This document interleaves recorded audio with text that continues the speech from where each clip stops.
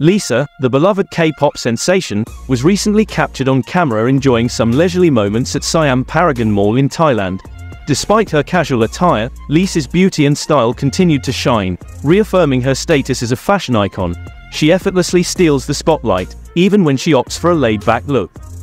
One couldn't help but notice the genuine joy on Lisa's face as she indulged in her shopping spree. Whether she was discovering new items to add to her collection or simply taking a well-deserved break from her hectic schedule, her sweet smile remained a constant companion. In a surprising turn of events, a video surfaced showing Lisa and her cousin, Gukois, playfully running through the mall. It turns out that Lisa had momentarily forgotten her bag somewhere, prompting the two to embark on a comical quest to retrieve it. Their infectious laughter and camaraderie added a touch of humor to the day's adventure, but Lisa's Thai excursion wasn't just about shopping and playful antics. She was also seen bonding with her loved ones at a local restaurant. Her mom, cousin, and a close friend joined her for a lunch, creating cherished memories together. On the other hand, Jisoo recently engaged with her dedicated fan through the Weverse membership platform, creating a heartwarming and interactive exchange. In her initial message, Jisoo warmly greeted Blinks, expressing her desire to connect with them. She curiously asked about their activities, creating an inviting and friendly atmosphere.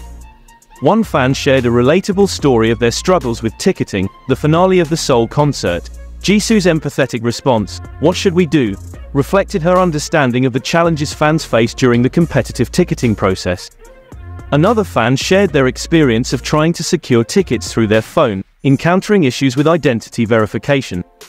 Jisoo revealed her own curiosity, mentioning that she had also tried to register for tickets. She said, I also wanted to try ticketing so I googled Blackpink concert and registered and it said to verify my identity so I did but it kept telling me to verify so I ended up giving up.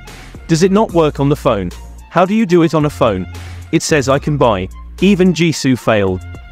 After after like 5 times tried, a humorous exchange took place when one Blink playfully commented that there were no tickets left anyway. Jisoo responded with a touch of humor and warmth, mentioning her desire to obtain the best seats from cancelled tickets and offer them through a lottery system to her fans. Amidst these conversations, a lucky Blink who happened to be a soldier shared their success in acquiring tickets, excitedly announcing a vacation.